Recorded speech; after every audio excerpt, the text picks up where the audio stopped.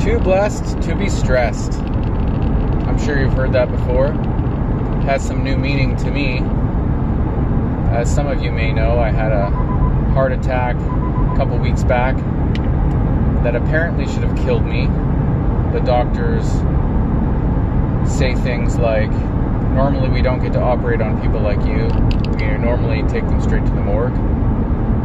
Or they called it a widowmaker.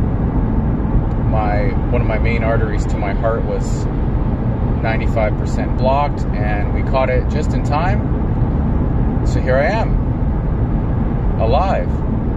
I can't even comprehend what it would be like to not be here right now with a family of five kids and a wife to take care of, provide for. So I take this opportunity to look at the blessings in my life because some of the factors that can contribute to heart attack are stress and worry and anxiety.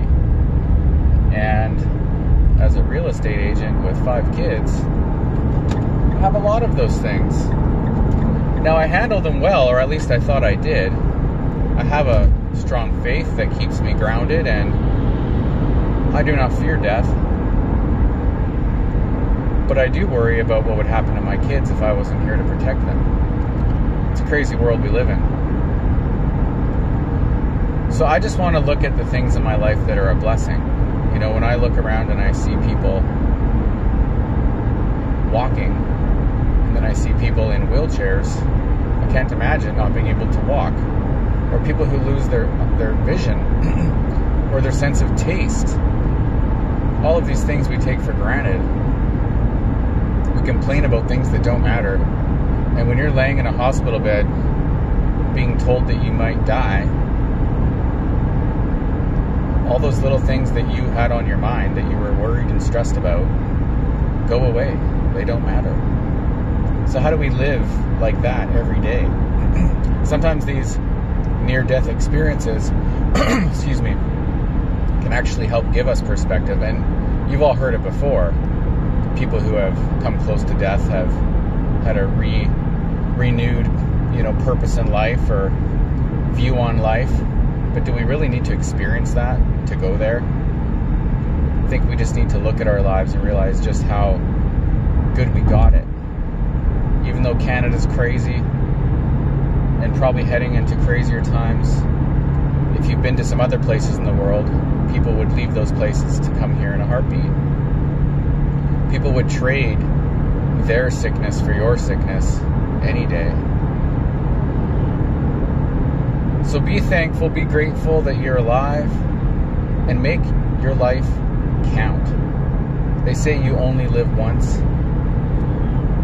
And it's true. On this earth plane, we live one time in the physical, and we have the chance to contribute to a better place or just use this place for our own self.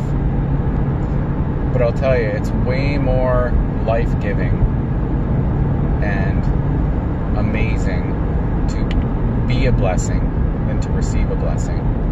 When you can help people and love people, even if you don't agree with their decisions politically, medically, whatever.